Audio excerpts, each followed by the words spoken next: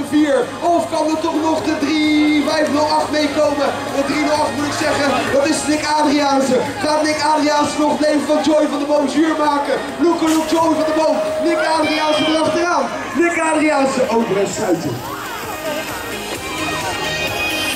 Laatste kwalificatie, shakedown hier, kwartfinalisten. Die gaan kijken of ze de ticket gaan bewachten voor de halve hier in Maden. De 3,59, dat is Mulman. Mulman is vertrokken voor zijn uh, kwart, kwartfinale hier zo op zijn thuisbaan. Het is ook uh, Mitchell Lemmens daar op de 2. En wie gaat er dan nog meer mee van het Dream Team? Van de Biezen natuurlijk. Van de Biezen zit er op 3. En wie er op de 4 voorbij komt, dat is Stefan Welder van de Wijrijders. Dit waren de kwartfinales, dames en heren. We hebben ze zien strijden tot aan de finish.